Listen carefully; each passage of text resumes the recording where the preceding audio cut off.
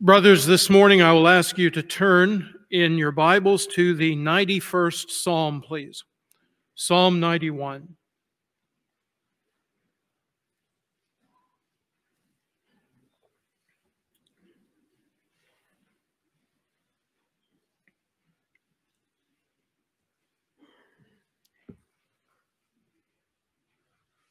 Let's hear now the living voice of God.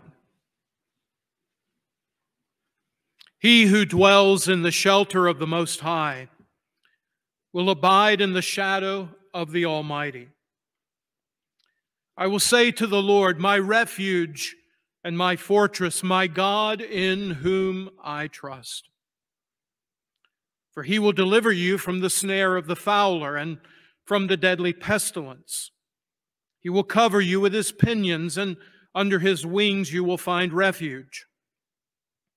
His faithfulness is a shield and buckler. You will not fear the terror of the night, nor the arrow that flies by day, nor the pestilence that stalks in darkness, nor the destruction that wastes at noonday. A thousand may fall at your side, ten thousand at your right hand, but it will not come near you. You will only look with your eyes and see the recompense of the wicked because you have made the Lord your dwelling place, the Most High, who is my refuge, no evil will be allowed to befall you, no plague come near your tent. For he will command his angels concerning you to guard you in all your ways. On their hands they will bear you up, lest you strike your foot against a stone. You will tread on the lion and the adder, the young lion and the serpent, you will trample underfoot. Because he holds fast to me in love, I will deliver him. I will protect him because he knows my name. When he calls to me, I will answer him. I will be with him in trouble. I will rescue him and honor him with long life. I will satisfy him and show him my salvation.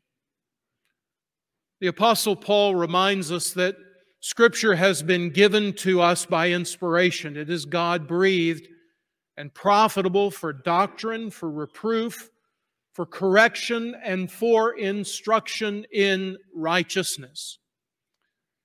I ask you now, brothers, as we bow in prayer, that you will ask that God will send His Holy Spirit to work in all those ways in our lives to reprove us and to correct us and to guide us and to teach us that we might be men of God. Let's pray. Our Father in heaven, we come to you this morning because we are such needy men. We are weak we need your strength. You have promised that those who wait upon the Lord will discover that their strength is renewed. Do that today, we pray. Come, O Lord, and feed us the bread of life. Pour out your Spirit upon us to reprove us and to correct us and to instruct us. Lead us, O Lord, in the paths of righteousness today for your name's sake. To that end, we pray that there will be a very real sense of your presence resting upon us. To that end, O Lord, grant the unction of the Spirit of God for the preaching and hearing of Holy Scripture. For we pray this in Jesus' name. Amen. When Elisabeth Elliot wrote the biography of her husband Jim, she drew its title from the opening words of this psalm Shadow of the Almighty. Jim Elliot was a man who knew God. He walked with God. He spent time in the secret place of the Most High, and as I'm sure most, if not all of you, know the story. He gave his life for the spread of the gospel. His biography has been a tool that the Lord has used in the lives of countless Christians to encourage them in their own walk and service for Christ. I think one of the most compelling and inspiring aspects of Elliot's life is the way he faced trials with an utter submission to the will of God, coupled with a deep confidence in his union with Christ. In 1949, he wrote, Overcome anything in confidence of your union with Him. Now, it is that confidence that is the thrust of Psalm 91. Perhaps you know someone who exudes confidence. Uh, you can see it uh, in their behavior, in their demeanor, even, even in their gait. Psalm 91 exudes confidence. But we don't see it in the psalmist's swagger. We see it in his focus upon God. We aren't sure who wrote this psalm. You'll note that it has no superscript. Uh, we aren't aware of a particular historical circumstance that gave rise to it. But its message is clear. The author wants us to know that the Lord is a refuge for his people. The Lord is a place of shelter, a place of safety where you and I may abide.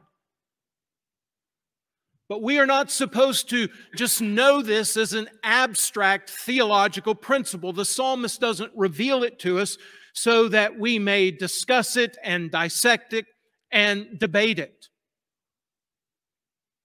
This passage of Scripture is here for us to experience. The psalmist wants us to engage with this truth that God is our shelter and respond to it by basking in the assurance that it provides for us. He wants us to know for ourselves. That when we have sought refuge in God, when we are abiding in the shadow of the Almighty, then, brothers, we can have the confidence of God's saving and protecting power.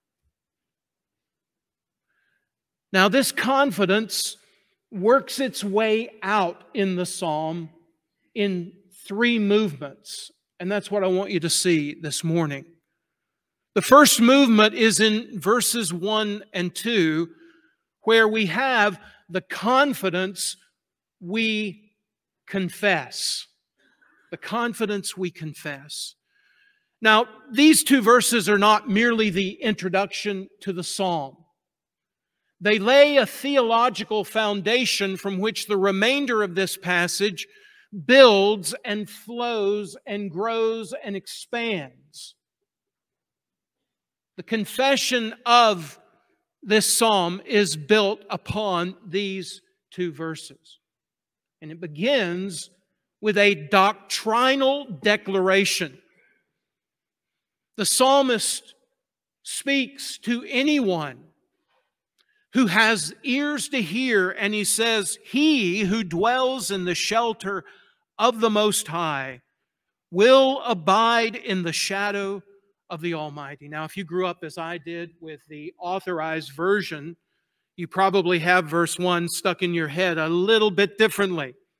He who dwells in the secret place of the Most High. And I actually like that translation better.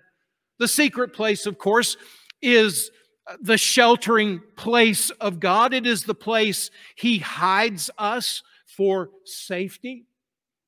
when the Ten Boom family wanted to rescue Jewish people from the threat of the Nazis, they built in their home the hiding place, a secret place, because only as they secreted those dear people away, only as they were hidden from harm, would they be safe.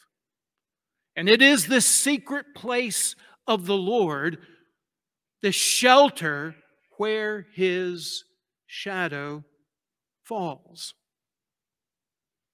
Now, what did it mean for this psalmist or for any believer in the Old Testament era to seek shelter and safety in God's secret place or to be under his shadow?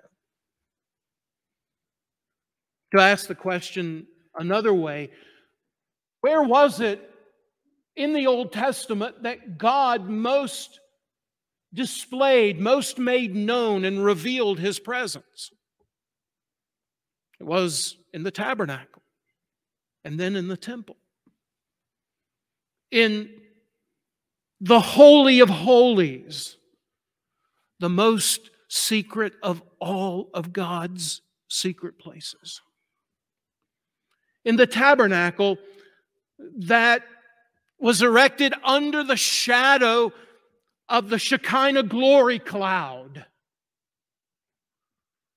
And under that cloud of glory, shadowing and shading the tabernacle, there was that most secret place. And in that most secret place, there were outstretched wings casting a shadow over the mercy seat. And, brothers, that is where the believer in the Old Testament found his shelter and his safety and his security. There's a problem. By saying that, we have to remember that no average Israelite was allowed to enter into that place. He had to stand at a distance and look on. Only the high priest could go in, and only once a year. So the Israelite who wanted to seek his shelter and his safety in God had to do so by faith in what that high priest was doing. He had to trust in the work that was done for him. And when he did, he found security and protection and safety for his soul. Now, the temple is no longer standing in Jerusalem. If you visit the Temple Mount today, you will notice that there are warning signs posted by the chief rabbinate of Jerusalem, warning faithful Jews not to visit the Temple Mount. Now, when I first saw that, it was completely counterintuitive to me. I would think that a, a, faithful Jewish believer from their context would want to be at the Temple Mount, would want to see that as the most sacred place. Well, that's actually just the issue. They're not supposed to go to the Temple Mount because with the temple destroyed, we don't know where the Holy of Holies was. And so they might encounter that space to their own detriment. How sad that is. I could enjoy my visit to the Temple Mount because I knew that God was no longer concentrating, as it were, his presence in one location.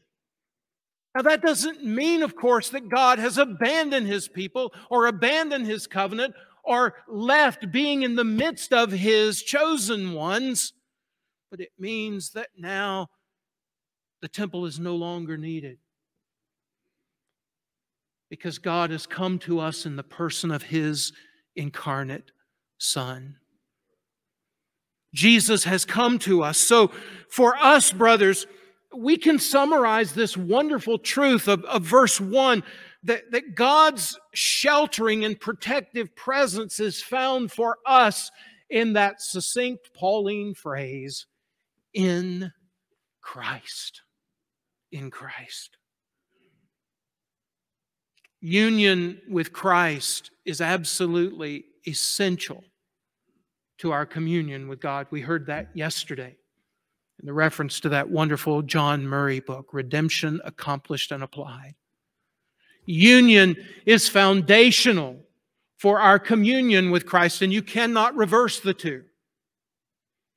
You cannot hope through acts of devotion to attempt communion with God with the hopes of arriving some state at which you will eventually be united to Christ. But it is out of this joy of being in union with the Son of God, of being in the secret place of the Most High, of abiding in the shadow of the Almighty, that you can then pursue communion with God, knowing that you're already accepted, you're already welcomed, you're already invited into His presence. And He will be with you as you seek Him. Here's the shelter of our souls, brothers. It's still the Holy of Holies, but not the one built with hands. Still beneath the shadow of the cherubim wings, but in that heavenly sanctuary where Jesus has entered and sprinkled his own blood on our behalf. There's our rest and there's our security. That's why the Apostle Paul, when he writes in Colossians 3, he says, If you're united with Christ, if you've been raised with Christ, it's because you have died with him and your life is hidden. It's hidden in the secret place with Christ in God. Now, the psalmist follows this doctrinal declaration in verse 1 with a personal profession in verse 2, based upon what he knows, based upon what he has just said, what he knows is true, he turns to address the Lord and he identifies him in three ways. I will say to the Lord, my refuge, my fortress, and my God. Now, what do each of these three designations have in common? They each stress the sovereignty and the power of God. God is a refuge. You may trust in Him. God is a fortress. He is like a mountain citadel. He is impregnable. He is God. The, the same God who in the beginning created the heavens and the earth. Sovereign, omnipotent. But notice there's a second way in which these designations are tied together. They not only emphasize the sovereignty and power of God, but you find in these verses this personal association, don't you? This personal linking of the psalmist to God. It's not just God is a refuge or a fortress or a God or even the God, but no, He is mine. If you shelter in the secret place of the Most High, you can claim this God to be yours. You can say with the Shulamite, I am my beloved's, and my beloved is mine. I am safe.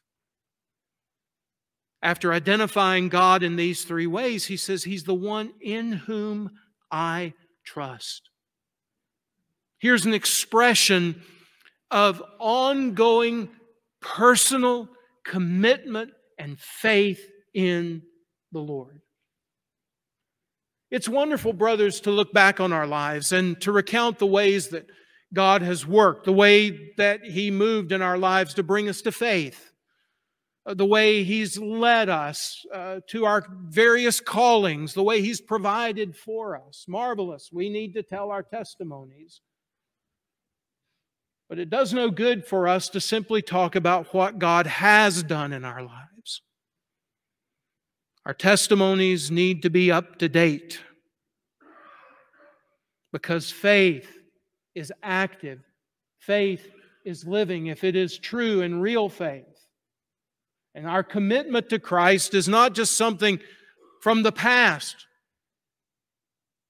but it must be a lively, experiential commitment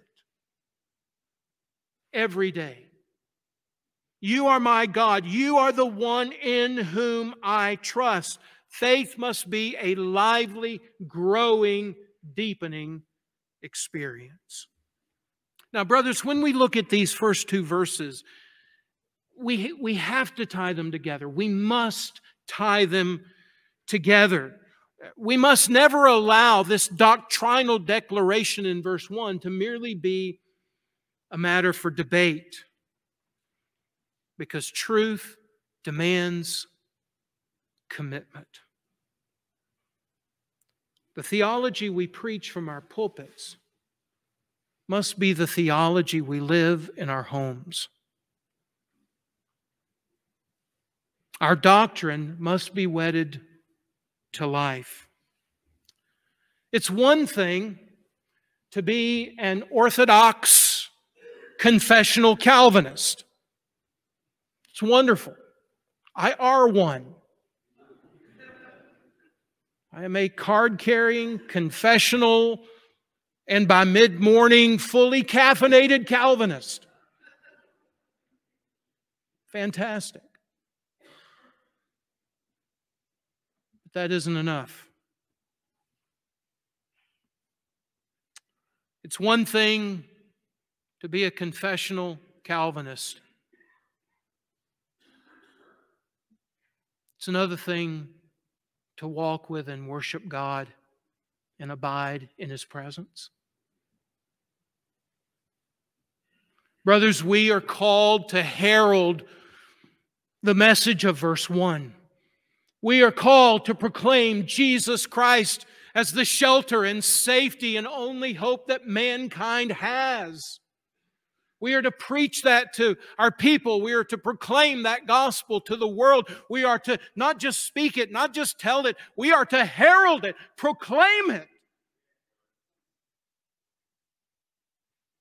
but it will ring hollow if it is not wedded to an experiential faith and a personal profession of a lively, growing, and deepening experience of Christ. Perhaps some of you know Timothy Dudley Smith's hymn based on Psalm 91 safe in the shelter of the Lord beneath his hand and power. I trust in him. I trust in him, my fortress and my tower. Brother, it's, brothers, it's only where solid theology is wedded to vital experience that there will be effective ministry. This is the confidence we confess. Now, that reality leads us to look at a second movement in this psalm in verses 3 through 13. Here we discover the confidence we proclaim. Now, you're going to notice that, that a shift occurs in the text at verse 3. We begin in verse 1 with the third person. He, anyone who dwells in the secret place of the Most High. Then we move to the first person in verse 2. I will say to the Lord, my refuge, my fortress, my God. Now, beginning at verse 3 and moving down all the way through verse 13, the focus is on the second person, the second person singular you. Now, the question is to whom is the psalmist speaking? To himself or someone else? Jones's classic spiritual depression, one of the greatest pieces of counsel that he gives is that we should sit down and talk to ourselves. Too often we listen to ourselves and we need to just sit down and give ourselves a good theological lecture. Soul, you have taken refuge in God. Soul, you are in the shadow of the Almighty. Therefore, is that what the psalmist is doing? Or is he addressing someone else? Is this a priest or a king addressing another faithful Israelite? Well, I'm going to cop out and say the answer is yes. But I know that from experience because we preach better to others, we preach best to others when we first preach to ourselves. So, what does the psalmist have to say? As you work your way from verse 3 down through verse 13, you'll notice that he compiles image after image to tell us, to assure us that if we trust in God, He will deliver us, He will protect us, He will be our defense, and we may walk in victory. Now, notice how this unfolds here. First of all, in verses 3 through 8, we're assured here that the Lord will deliver us, the Lord will deliver you, and He will protect you so that you need not fear. Now, in compiling this catalog of images, the psalmist takes us on a journey, and he begins in the forest. He will deliver you from the snare of the fowler and from the deadly pestilence. He will deliver you from the bird trap I follow on Instagram an account called Awesome Animals. Uh, it, it is a lot of fun. People post little videos of very fascinating creatures and funny things that happen with them. Yesterday, there was a video of a bird trap. Now, this trap was made uh, of a basket and it was propped up with a stick, waiting for an unsuspecting bird to make its way under it. It was baited with some breadcrumbs and then you spring the trap and it's captured. But it was a very obvious trap, and in fact, so obvious that these birds were wary of it. And a pair of them come up to the trap and they see the bread, and the bread is tempting, but they see the trap. And so one of them goes in and gets the bread and brings it back out to the other. And that happens repeatedly, protecting the other bird. And you want to look at that, and if you didn't know they were just operating by instinct, you'd think, isn't that sweet? That's just so sweet. Although, as I thought about it, it's probably the female going in and getting the bread for the male. That's probably how it was working. But they were wary because the trap was obvious. The problem with a snare is that it's hidden. And that's its danger. It's secreted away, and it is deadly. Snares are laid to trap the unsuspecting. And, brother, you can be sure Satan has set a snare for you. Nothing he would love more than to destroy your ministry. If he can pull you down, he can wipe out the congregation.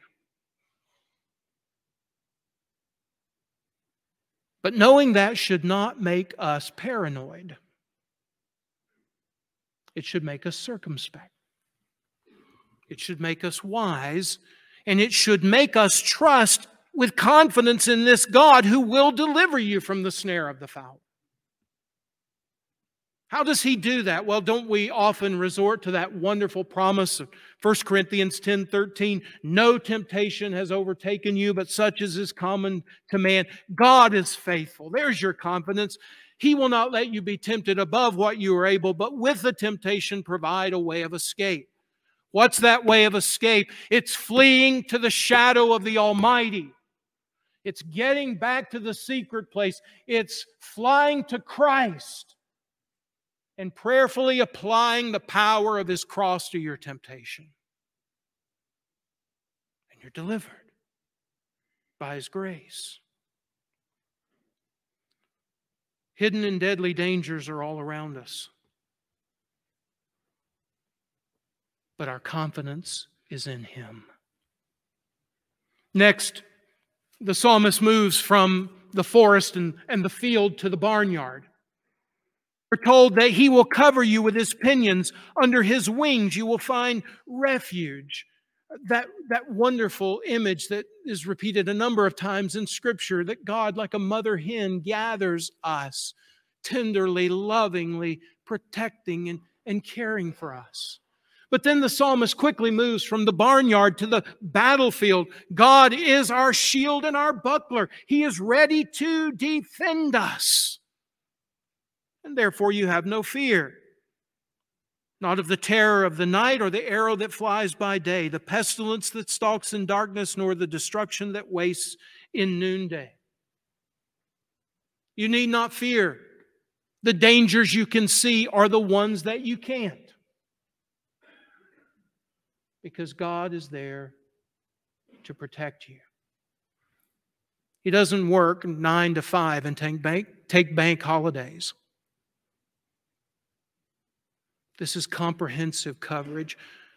There isn't fine print to verses 3 through 8. There's no out clause. God says, I will be there for you. He will deliver you and He will protect you so that you need not fear. It's with assurance in God's power that we can have confidence and courage to face this dark world. And, brothers, I don't have to talk to you about the day and age in which we live. You're talking to your people about it because you're well aware. More and more, it is taking greater and greater courage to stand up and name the name of Jesus Christ. And pretty soon, people are going to be arrested in this country because it's going to be a hate crime. It's going to be a hate crime to say Jesus' name. You're just wanting to oppress me, talking to me about the gospel. That's all you want to do. You want to cramp my style. How are we going to face this ever darkening hour with courage and with boldness? Only as we have confidence in our God. Confidence breeds courage. I don't think there's anyone outside of Holy Scripture who illustrates that better than John Knox,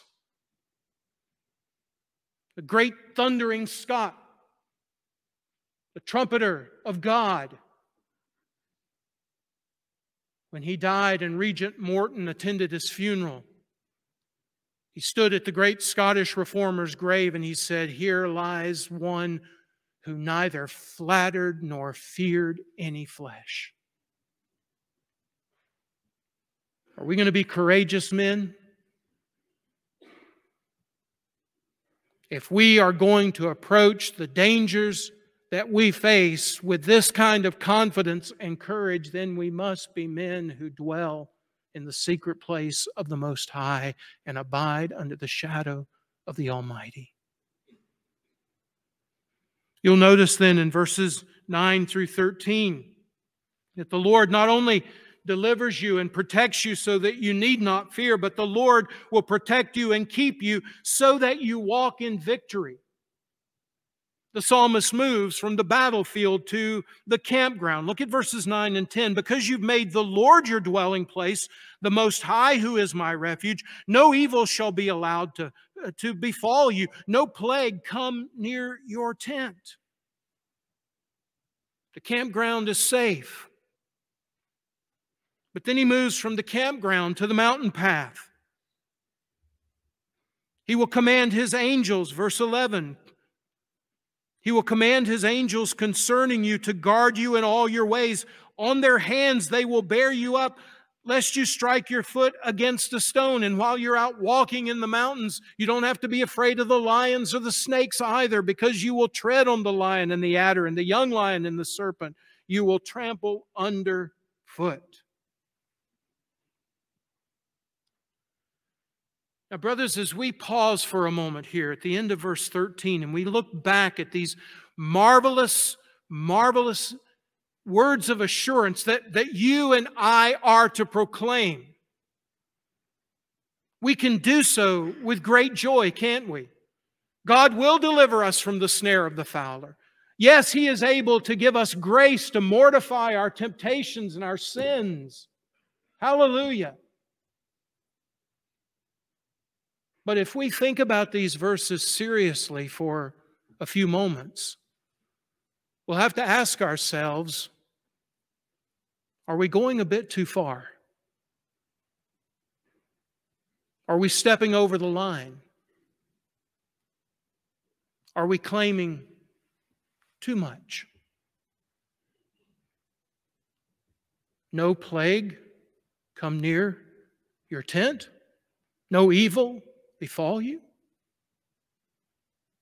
If that's the case, it seems that the title of Elizabeth Elliot's biography of Jim is tragically ironic. because a plague certainly came near their tent and evil befell their house. He and his companions did not escape the spears that flew by day. What are we to make of this? And what about verses 11 and 12? You'll recognize those as the ones Satan quoted in his second temptation of the Lord Jesus when he took him to Jerusalem to the pinnacle of the temple. Just throw yourself down.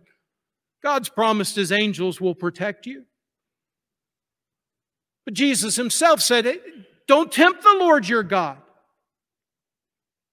Jesus himself knew that, that harm could befall a believer. You can say, Hey, I'm a man of God, and walk out in front of a, a moving bus.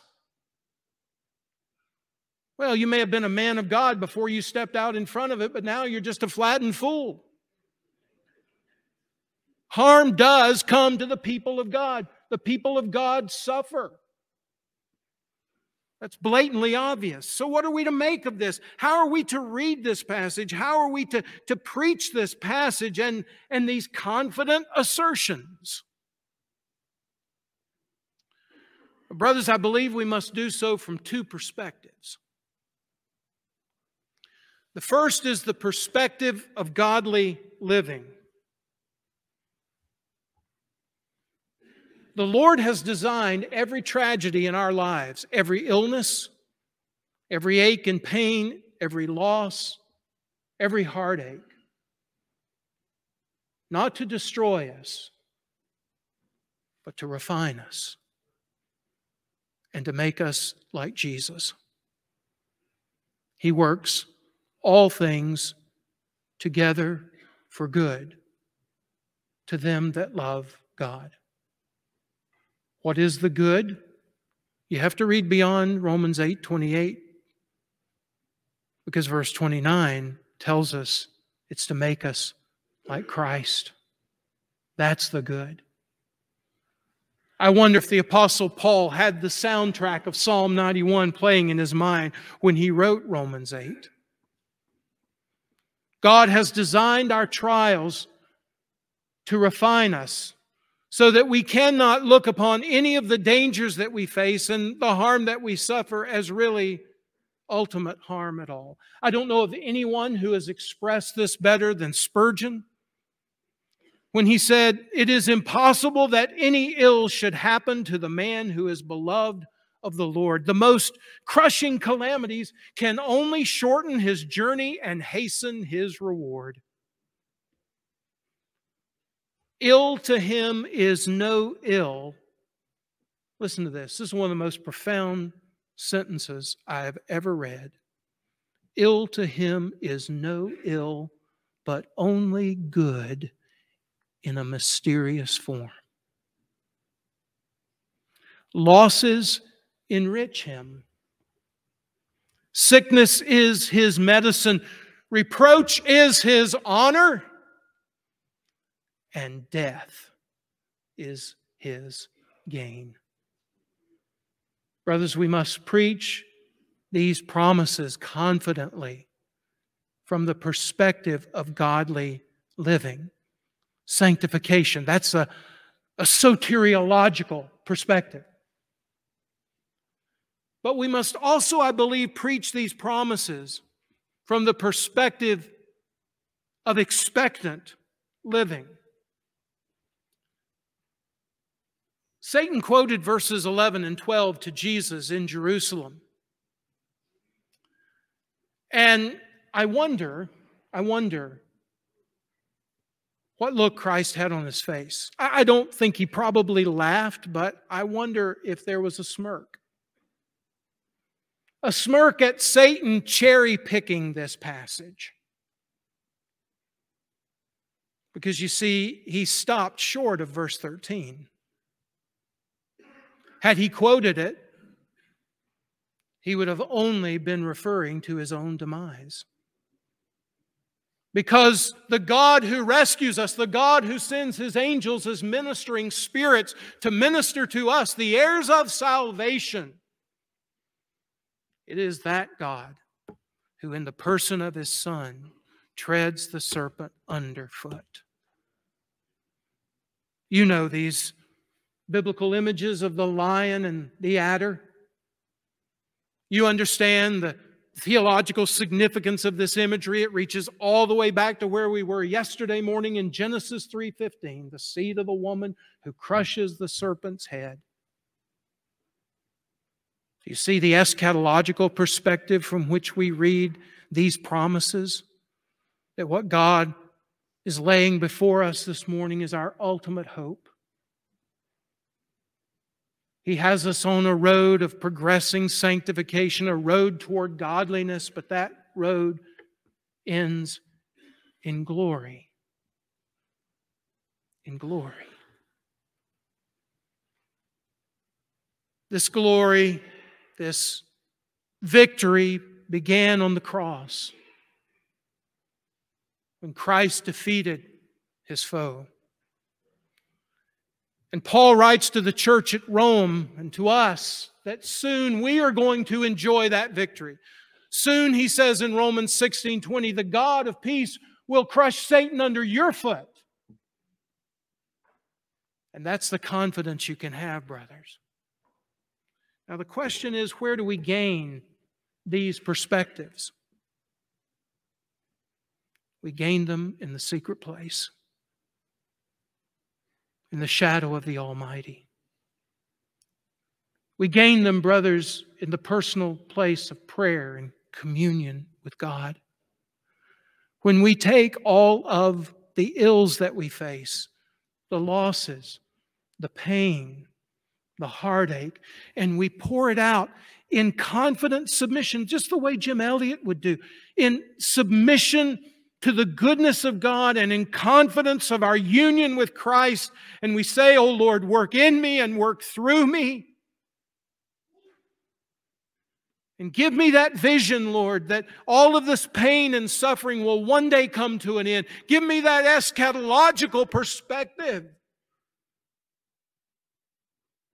so that we can then rise from our knees and we can herald with our voices no evil shall befall you.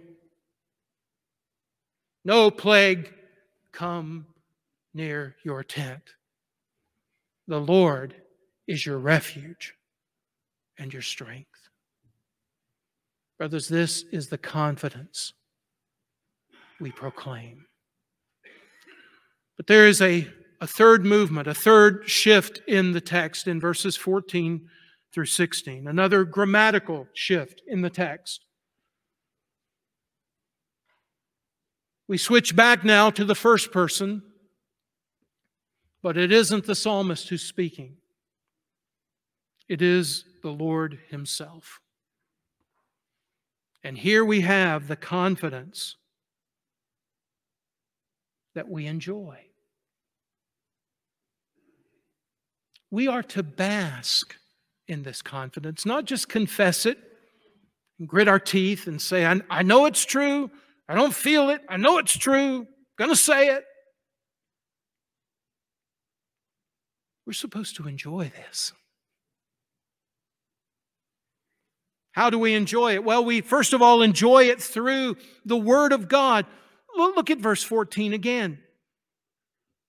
Because he holds fast to me in love, I will deliver him, I will protect him, I will answer him, I will be with him in trouble, I will rescue him and honor him. With long life, I will satisfy him and I will show him my salvation. Eight first person expressions. This is what God's going to do. God has committed himself, brothers, to be for us. And he who spared not his own son, but delivered him up for us all, how shall he not also with him freely give us all things? What we proclaim and preach is simply what God says, I'm going to do it for you. I'm going to do it. We enjoy this confidence through the Word of God, through basking in the Word of God, through immersing ourselves in the Word. I'm a Presbyterian, but this is the only immersion I really am kind of in favor of. immersing ourselves, soaking ourselves, going down deep to meditate, to feed our souls, to hear these words from God, not just as expressions of Hebrew syntax. You ought to start there. But you ought to hear them as His living voice spoken to you as His dear Son. That's how you enjoy this confidence.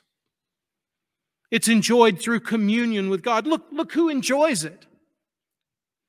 It's the one who holds fast to God in love. This is the same expression the Lord uses in Deuteronomy 7 7 when he tells Israel, You know, you weren't the biggest people around, you weren't the flashiest, but I love you. I'm going to hold fast to you in love. And we then, in turn, brothers, hold fast to Him. We love Him because He first loved us. And isn't this the essence of our communion?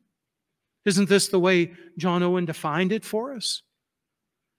That we receive grace from God and then in turn, we express those graces that He works in us back to God. He loves us. We receive His love. And then we turn right back around and we say, Oh, gracious God, I love you. You loved me to death. Let me be willing to give my life for you. We enjoy this confidence when we are holding fast to Him with a never dying commitment and devotion, deep affection, where our hearts are moved to say again with that Shulamite, I am my beloved, and He is mine. It's for the one who knows God's name. I will protect him, he says, because he knows my name. We don't just know to call God Jesus or Jehovah or Yahweh or Father, Son, and Spirit. It's not just having the correct label, as important as that is. I don't want to diminish that. But it's knowing his character. Brothers, you can't know the character of God without getting on your knees before your Bible and praying this word into your heart and then getting up and suffering. That's the only way. That is the only way. There's no other way but trials and temptations, faced with an open Bible and a bent knee, to know the character of the Almighty you can't know the name of this God. You can't know what He's really like just by reading the table of contents in Charnock. You've got to be wedded to the Word. And you've got to suffer. There's no shortcut. But God will deliver the one who knows his name.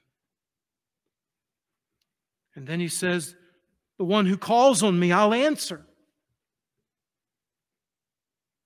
I believe when we think of communion with God, prayer is probably the first thing we think about. That's not a bad thing because remember, Calvin said prayer is the principal and perpetual expression of faith. So you can't commune with God without praying. And when you pray, he says, I will answer. And, brothers, as pastors and elders, we are called to proclaim this truth. As we personally confess it and stand to herald it, but we're also to enjoy it. You know the stereotypical dour Calvinist, right? He looks like he eats lemons for breakfast. The sourpuss, the grave and somber, afraid to crack a smile, his face might shatter.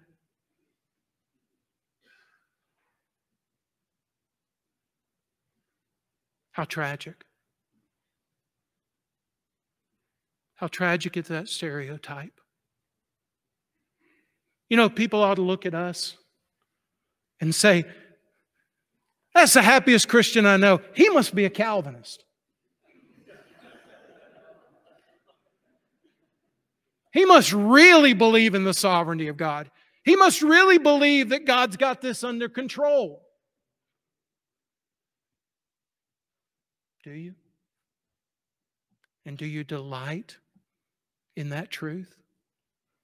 That He is your refuge, your fortress, and your God? Is that your confidence? God is our fortress, brothers. This is a Hebrew word I'm sure all of you know. Metsudah. We've anglicized it as Masada. If you've ever stood atop that wilderness fortress of Herod the Great, then you know that you can see for miles and miles in every direction in the Judean wilderness. It's the ideal fortress. You can't sneak up on someone who's at Masada. You can see them coming for miles. And the Romans only overthrew Masada in AD 70 because they played the long game and built a siege ramp against the Western Wall. For some time, soldiers in the IDF, the Israeli Defense Forces, would make their way to the top of Masada for their swearing in ceremony. And There they would take their oath which included in part, Masada shall never fall again.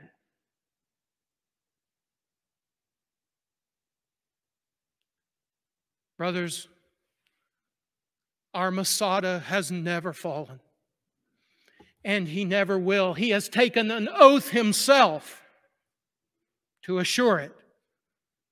And that, brothers, is a confidence we can confess a confidence we can proclaim. And hallelujah, it is a confidence we can enjoy. Let's pray. Father, we thank you today for who our Savior is. We thank you for the shelter of the Most High and the shadow of the Almighty. We thank you that we are enfolded in the arms of Jesus. Wrapped around us are those hands that were pierced with nails holding us tightly are those arms that will never let us go. May we, O oh Lord, learn to enjoy, to bask in, and to be heralds of this assurance, this confidence that Christ is our fortress, our surety, our stronghold, our rock, our mighty God. We ask this in his name. Amen.